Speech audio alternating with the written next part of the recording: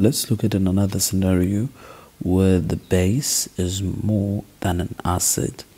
So if we have a base that is more than an acid and we mix them together, so this means that the base will be an excess in this case,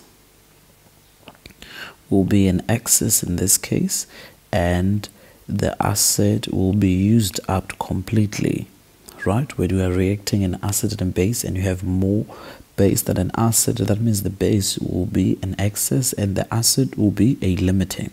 So let's say in this case this is where they neutralized.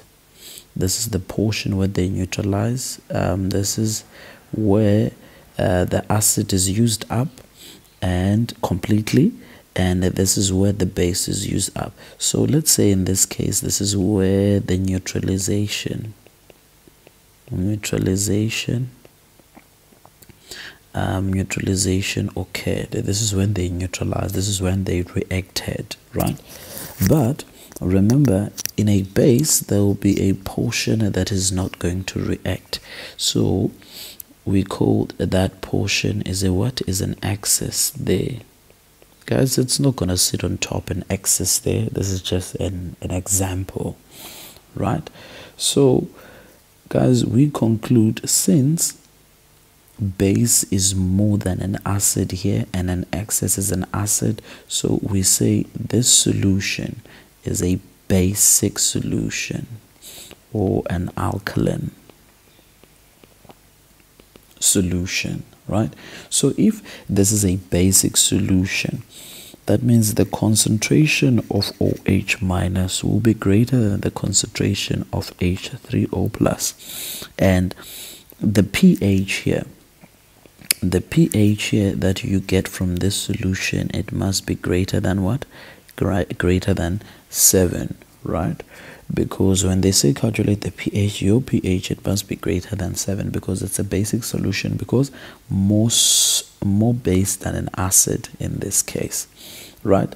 So when you calculate the pH of this solution here um, you must first get the OH and then you get the hydronium using um, this equation that is available on the formula sheet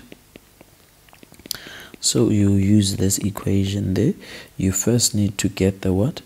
The OH here of the excess there. And after getting the OH of an excess you use the you get the hydronium ion. Using this equation after getting the hydronium ion you can calculate the what? The pH using the negative log H3O plus Guys, alternatively, you can use the OH concentration to calculate the POH. The POH is negative log OH minus and after that you can use the formula. Um, this formula is not in the data sheet this. Or and use the formula that says POH plus pH is equal to 14 so this formula is not in the data sheet as well. Having this POH here you can get the pH by saying pH is equal to 14 minus POH and then you get the pH of the solution there. Guys I hope you get that. Um, you get that and it's very important to understand that when an excess here it's a base. In the previous example that I've made it's when an excess it's an acid